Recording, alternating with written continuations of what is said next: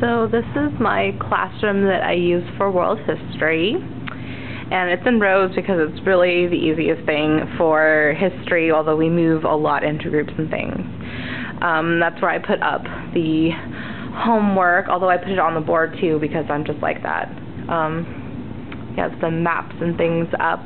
We're actually going to be having more things um, around the room we have the pers- these personal history timelines that they made that kind of place them in a historical context with events in their life and then world events.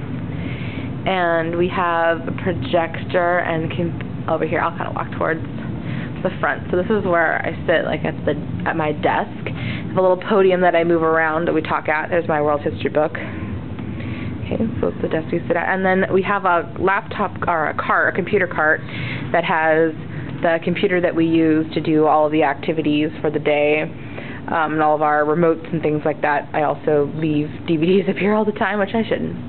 Um, and we have a TV with a DVD player and everything like that. And that is our projector to use, the board. This is where we put like the agenda and everything up for the day.